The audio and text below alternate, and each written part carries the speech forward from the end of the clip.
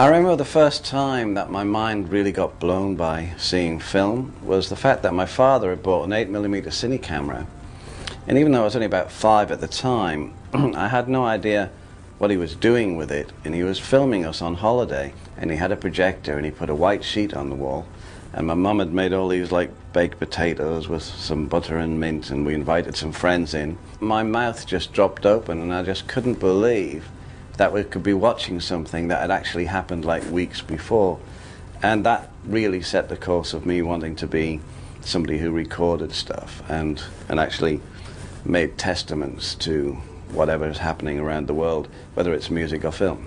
And on May the 10th, Pangea Day, I'll be there.